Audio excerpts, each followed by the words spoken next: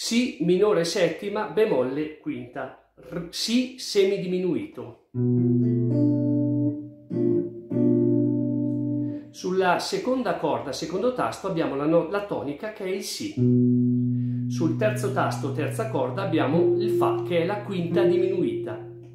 Sul secondo tasto, quarta corda, abbiamo la nota La che rappresenta la settima minore. Infine, terzo tasto, quinta corda, abbiamo la nota Re che è la terza minore.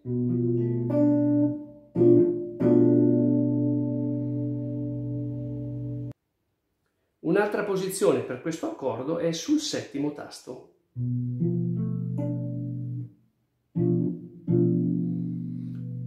Prima corda, settimo tasto abbiamo la tonica che è il Si. Ottavo tasto, seconda corda abbiamo il Fa che rappresenta la quinta diminuita. Settimo tasto, terza corda abbiamo la settima minore che è il La. Infine, settimo tasto, quarta corda, abbiamo la nota Re che rappresenta la terza minore.